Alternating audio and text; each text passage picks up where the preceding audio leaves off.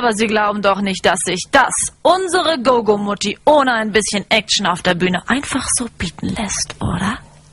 Oh, die von diesen drei knackigen Moderatoren geleitet wird. The Other Half, zu Deutsch die andere Hälfte. Und ein bisschen anders sind die Jungs auch. Oh ja. Oh yeah! Naturtalente. Tja, mit Talent und Leidenschaft wird jetzt auch eine Liebe zurückerobert. Vielleicht. Na, jetzt haben Sie bestimmt doch Appetit bekommen auf unseren Nachschlag aus der Talk-Leckerbissen-Küche. Bleiben Sie einfach dran. Hallo und hi, da sind wir wieder zurück mit einem Ehepaar. Sie ist eine Katze, ja, ja, und er ist ein Puzzle. Alles klar? Sowas gibt's nur in Amerika. Wir wollen Ihnen nochmal ein charmantes Trio in Erinnerung rufen. Und da bleibt mir nur zu sagen, gut, dass der Mann das Sagen im Hause hat. Nö, Jürgen, jetzt sag doch mal was. Immerhin hat er eine zweite Chance, denn Britt hat die alten Kontrahentinnen noch einmal eingeladen.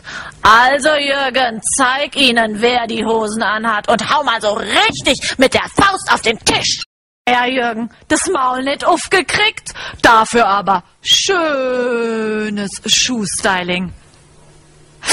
Genauso gesprächig und stylisch ist Darth Vader.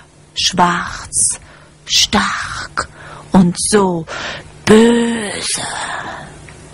Darth Vader war ja auch schon in meiner Sendung zu Gast und privat rennt er ja am liebsten in Feinstrumpfhosen herum. Die klaut er mir immer heimlich aus der Maske.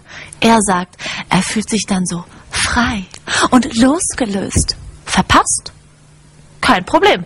Paps, kannst reinkommen! Morgen um 20.15 Uhr gibt's bei uns auf ProSieben die komplette Geschichte von Darth Vader.